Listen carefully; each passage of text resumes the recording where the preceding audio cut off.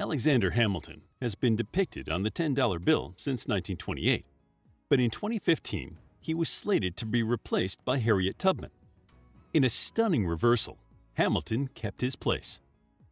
Although Alexander Hamilton has recently resurged in popularity, he was a significant player at the beginning of America's independence. He was so vocal and hardworking that he was well known during his lifetime, even if everyone didn't like him. Hamilton shaped the United States in many ways, but his impressive journey began from much humbler beginnings. Hamilton was born on the island of Nevis in the British West Indies. His mother was divorced, so both Alexander and his brother were illegitimate. When his father left the family over controversy about being in a relationship with a previously married woman, Alexander's mother worked to maintain a small business and give her boys a good education. Sadly, having succumbed to a fever in 1768, she did not live to see her son grow up to help found a country. The boys were now orphans, and after a failed guardianship from an older cousin, they both went their separate ways, looking for employment. Alexander Hamilton was about 14 years old at the time. He got work in a merchant house and found the work stimulating. Hamilton learned skills and principles that would later help him in America, such as the principles of economics. But he also became increasingly aware of class structures. He spent hours working while his peers spent their paychecks on luxuries, and he soon attracted enough attention to gather the funds to move to Boston to pursue an education. He left Nevis in 1772 or early 1773, never again returning to the island of his childhood. By 1774, Hamilton was deeply involved with the revolutionaries in New York. He even gave a speech on July 6, 1774, about liberty, justice, and freedom, setting himself up as one of the most influential voices in the revolution.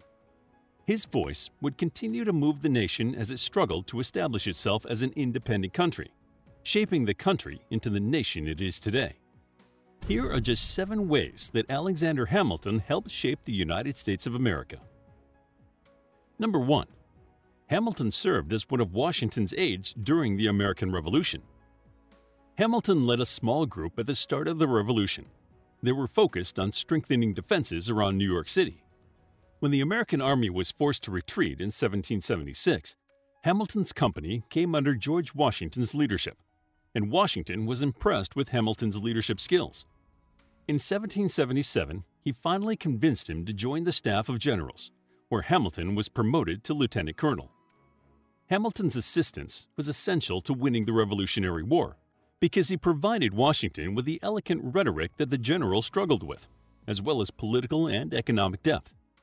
He soon had access to all confidential information and was even issuing orders on Washington's behalf. His official position also included being a translator between the French officers and Washington when the French joined the war. These four years were the making of Alexander Hamilton. He broadened his economic and political education and made lifelong connections across the colonies. Hamilton wielded considerable power while he served as Washington's aide. He issued orders and could even demand troops from senior commanders, which did not make him popular with everyone. Anyone who disagreed with him also faced his sharp rhetoric. So although Hamilton made many connections, he also began the process of making enemies. The American Revolution could have ended very differently if Washington had not had Alexander Hamilton at his side. The young man helped strengthen the general's weaknesses, lending Washington his eloquence to lead his newfound country to independence. Number 2. Hamilton advocated allowing Loyalists to join the United States after the Revolution. It may seem strange that a great Army veteran like Alexander Hamilton would be interested in reconciling with the Loyalists. But after the Revolution, he was deeply interested in stabilizing this new country. After settling in New York, Hamilton became deeply concerned about Governor George Clinton's policies, which included persecuting Loyalists. Even after the war, people who had either supported the British or remained neutral suffered from persecution, which included property seizure, special taxes, or even tarring and feathering. The divisiveness of the war continued, and these people were looking to leave the country, taking their wealth, businesses, and skills with them. Hamilton realized that this would set New York back at least 20 years economically, so he began advocating for reconciliation. It may seem self centered, but many of Hamilton's political views were shaped by his economic understandings. Hamilton was not the only person advocating for an end to violence, but he became one of the most outspoken advocates. He was even accused of treachery at the time. But his determination to do what was best for his country helped him influence people away from vindictiveness and towards building a unified nation. Using his skills as a lawyer, he built a successful practice around defending loyalists' interests and helped the country move past the revolution. Number 3. Hamilton helped write the Constitution. When the United States began, it did not have the Constitution. Instead, it functioned under a document called the Articles of Confederation. It was not strong enough to run the country, and the national economy suffered for several years. It became so dire that the government didn't have the money to pay soldiers who fought in the American Revolution, which led to a march on the capital in 1783. Finally, the state representatives agreed to meet to discuss the financial problems. Hamilton was part of that meeting, and together with James Madison, he convinced the Assembly to engage in constitutional reform instead. Hamilton was part of the Constitutional Convention in 1787, a group of delegates who gathered from all states except Rhode Island to discuss reform. There was so much discussion that several key issues, like slavery, were avoided until the last minute. Hamilton's radical suggestions for a strong central government were mainly ignored, but his ideas made other centralizing reforms seem moderate. During a six hour speech, Hamilton advocated for a king, elected for life, and a strong executive branch that could override local authority. William Paterson, a New Jersey representative, argued for a central government with strong state power. The convention spent most of its time debating representation and how to balance wealth, population, and special interests. Writing a foundational government document is not easy, and Hamilton was right in the middle of it. He was even part of the special committee that gave the Constitution its final polish before the convention signed it. Number 4. Hamilton wrote the Federalist Papers.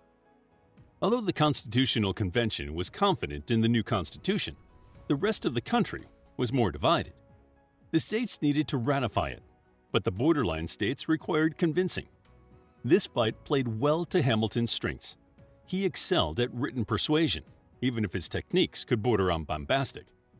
He was one of the leaders in the fight for constitutional approval, and the Federalist Papers is one of Hamilton's most enduring legacies. The Federalist Papers was a series of 85 essays intended to educate the people of New York about the Constitution. Alexander Hamilton teamed up with James Madison and John Jay but he wrote two thirds of the essays himself. The extensive pieces displayed the writer's rhetorical eloquence and political expertise to convince the people to support the Constitution. Four essays were published a week to support this campaign, and they covered almost all aspects of government, leaving a political legacy that we still live with today. In summer 1788, New York and Virginia voted in favor of the Constitution, proving that the Federalist Papers had done their job. Other states still held out on approving this new government document, but Hamilton was heralded as a hero in New York City. Thanks to his hard work, America had changed from a weak collection of states to a nation strong enough to handle her finances and protect herself in the future. Number 5.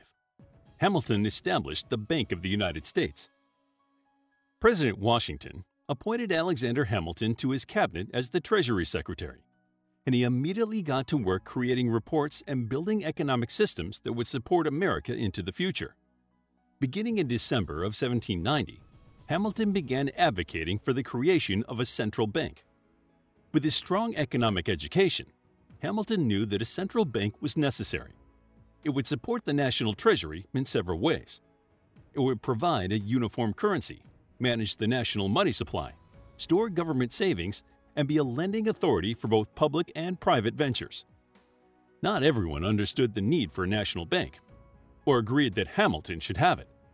Other founding fathers, like Madison, Adams, and Jefferson, opposed him, arguing that establishing a bank was unconstitutional. They feared that establishing a national bank would start a tradition of expanding government authority, eventually leading to tyranny.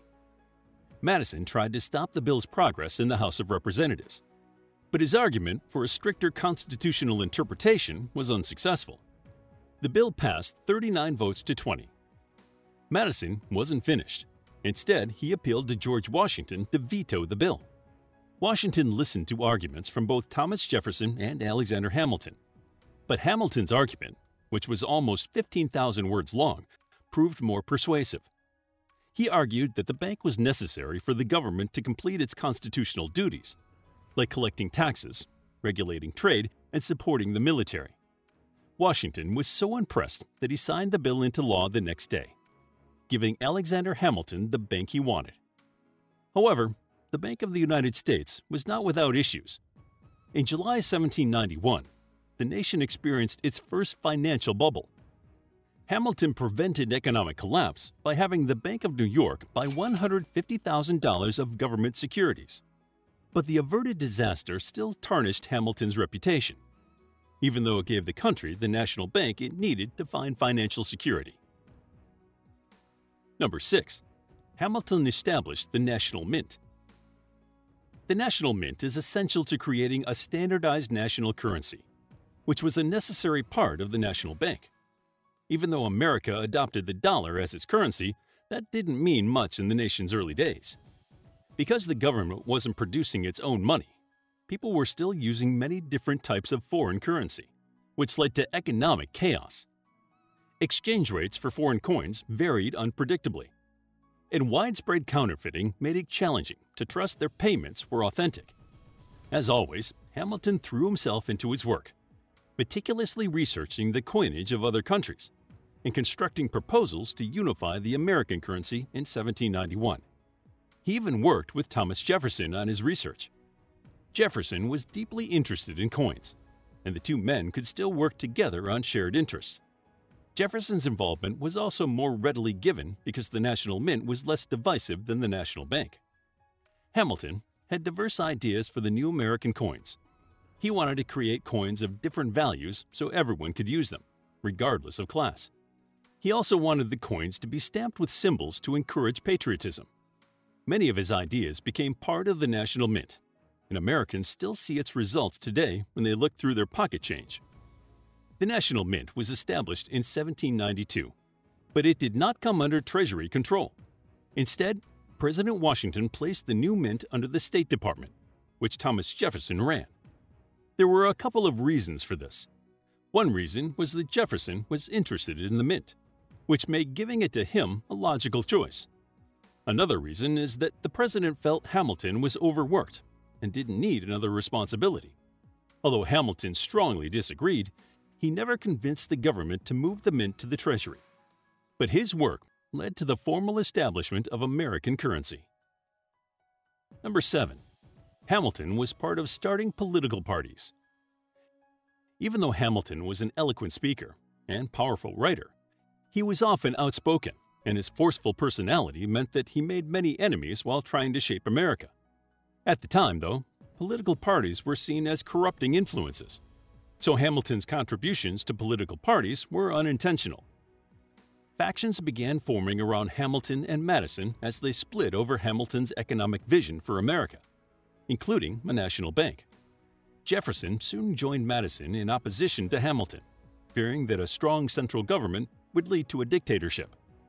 Soon, like minded people began gathering together, and the ideological differences between the two groups began to harden. Hamilton's group called themselves the Federalists.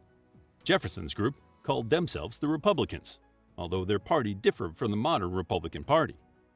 Hamilton and Jefferson could not contain their differences to only the political arena. They attacked each other repeatedly in the press, and the viciousness of their words indicates how deeply each man thought the other was a threat to the new nation. The split between Hamilton and Jefferson soon dominated political life, ushering in the era of political parties that continue to shape America today. How would you like to get a deeper understanding of history, impress your friends, and predict the future more accurately based on past events? If this sounds like something you might be into, then check out the brand new Captivating History Book Club by clicking the first link in the description.